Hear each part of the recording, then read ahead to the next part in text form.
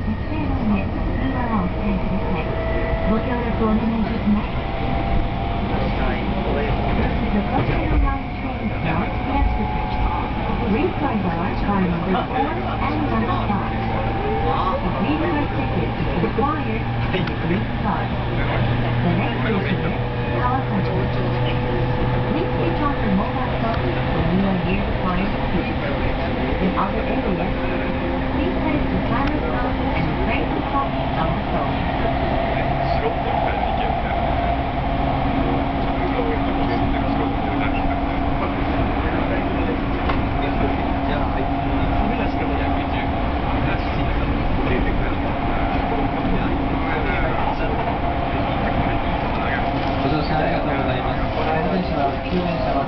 で。終点の平塚まで各駅に停車をしてまいります。